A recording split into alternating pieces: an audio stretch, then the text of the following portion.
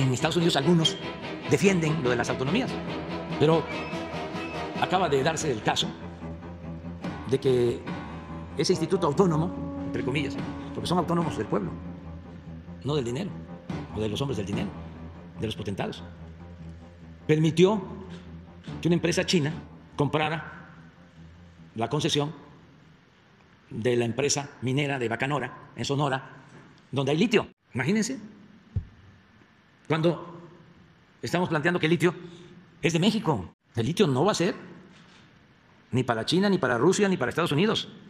El litio es de México. Pero resulta que tienen más poder que el Ejecutivo y que pueden entregar bienes estratégicos a extranjeros y nuestra soberanía y la defensa de nuestros recursos estratégicos, ¿dónde queda? Claro que ya hubo reclamo de Estados Unidos, porque ellos pues traen diferencias comerciales. Nosotros no queremos confrontación con nadie y defender lo nuestro y ser autónomos.